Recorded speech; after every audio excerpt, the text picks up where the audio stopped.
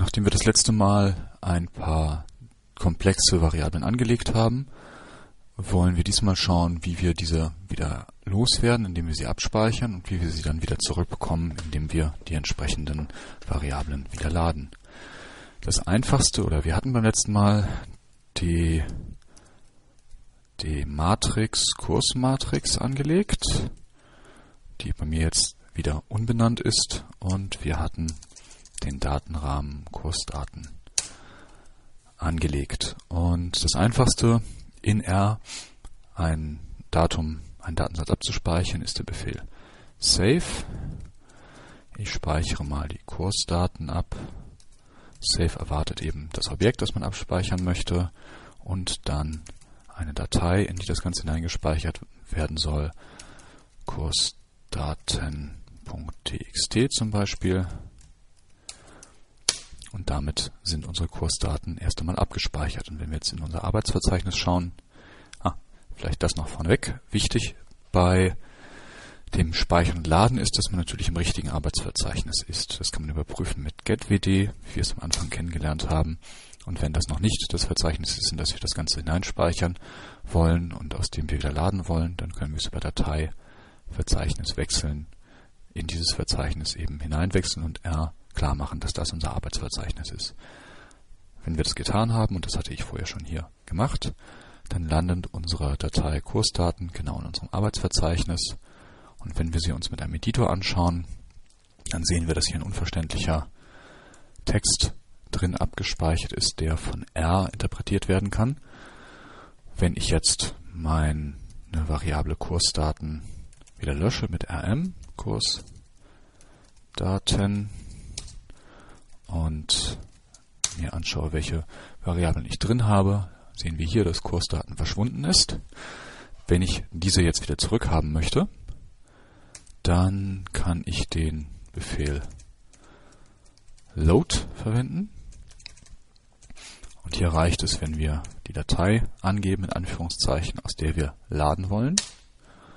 Und wenn ich jetzt wieder ls benutze, sehen wir, dass Kursdaten wieder da ist und ich kann mir die Variable und deren Inhalt wieder anschauen. Es ist wieder das dort, was wir vorher abgespeichert haben.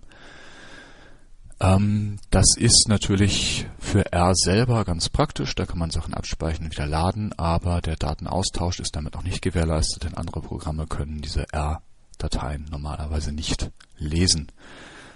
Um das austauschbar zu machen, kann man sich weiterer verschiedener Funktionen bedienen. Das einfachste wäre write. Write versteht allerdings nur Matrizen, kann nicht mit Datenrahmen arbeiten. Ähm, Matrix.txt. Falls man eine Matrize hat, kann man sie auf die Art und Weise durchaus abspeichern. Und wenn ich das getan habe, finde ich ein neues Textdokument und in dem stehen die entsprechenden Werte jetzt einfach drin, allerdings ohne einen sinnvollen Zusammenhang. Sie sind einfach nur hier reingeschrieben hintereinander und das ist gegebenenfalls auch noch nicht ganz befriedigend. Und es funktioniert eben nur für Matrizen. Wenn ich einen Datenrahmen abspeichern möchte, einen Dataframe, dann muss ich den Befehl write table verwenden hier nehmen wir wieder unsere Kursdaten und soll Kursdaten.txt soll jetzt überschrieben werden. Wenn ich mir diese Datei jetzt wieder anschaue, so sehen wir, dass die schon etwas sinnvoller aufgeschlüsselt sind. Wir haben hier einerseits unsere Benennungen, die Werte dort hinter, jeweils in Zeilen und hier drüber die dazugehörigen Spaltennamen. Und das kann ich mir auch wieder in R hineinholen. Ich lösche jetzt mal wieder Kursdaten als Variable. Wenn ich mich nicht verschreibe. So. Die ist wieder verschwunden. Und jetzt kann ich diese Datei wieder laden mit readTable. Sie wird mir jetzt einfach wieder ausgegeben und sie sieht genauso aus wie vorher. Allerdings haben wir unsere Variable in diesem Fall nicht wiederhergestellt, sondern es wird einfach nur die Tabelle gelesen und dann entsprechend entweder ausgegeben, wenn man es einfach so macht, oder ich schiebe sie wieder in eine Variable, dann habe ich sie wieder zugänglich. In allermeisten Fällen werden wir aber das, den Fall haben, dass wir Daten zum Beispiel mit Excel oder ähnlichen Tabellenkalkulationsprogrammen austauschen wollen. Wir bekommen die Daten aus irgendwelchen Datenbanken oder haben sie in einem Tabellenkalkulationsprogramm eingetippt.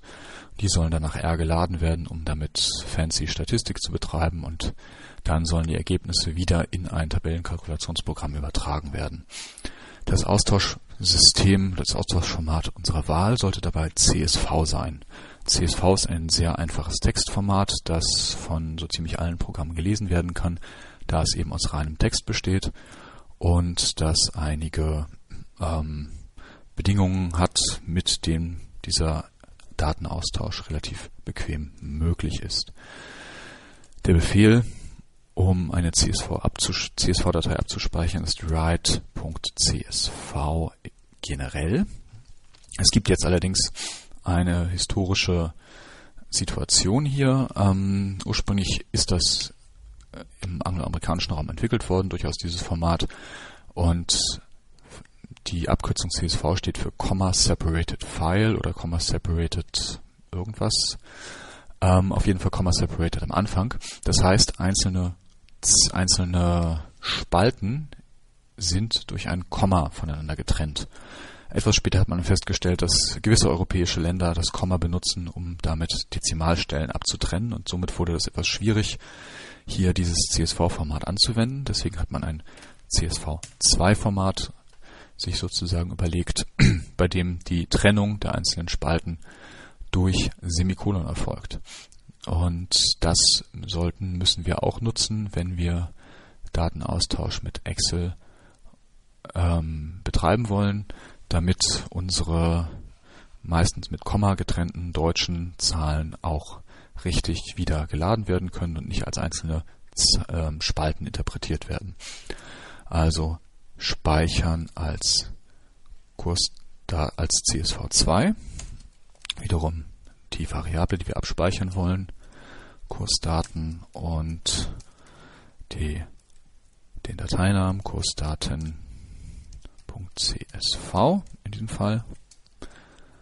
Schuss. Wir haben hier eine weitere Datei jetzt vorliegen und sie wird bei mir gleich als Excel-Dokument erkannt. Wenn ich jetzt Excel starte, habe ich hier eine Excel-Tabelle, in der meine Daten entsprechend drinstehen. Ich kann diese jetzt überarbeiten indem ich hier eine weitere Person einfüge. Abspeichern.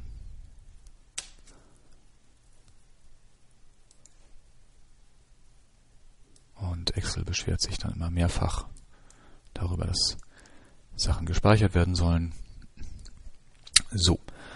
Und jetzt kann ich mir diese Daten wieder hineinladen. Dazu ist es, ist der Befehl dann read.csv2 Kursdaten.csv.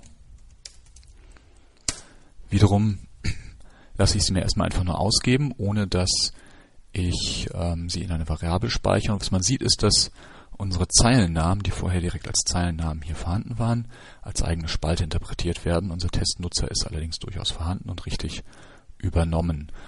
Wenn wir das nicht wollen, denn unsere Zeilennamen hier sollen auch wieder unsere Zeilennamen werden, so müssen wir das beim Import mit angeben. Der Befehl dafür oder die Option dafür ist row names gleich.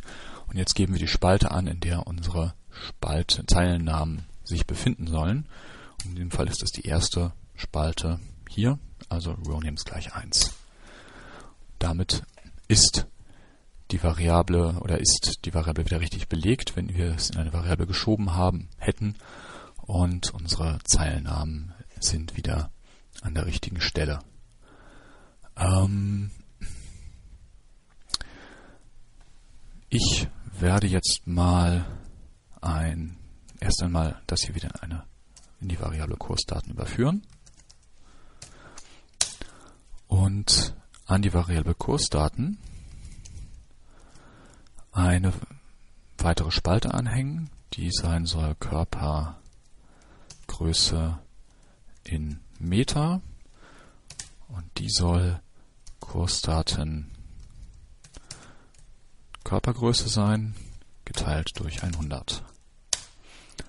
Kursdaten wieder ansehen und jetzt haben wir hier hinten Komma Stellen.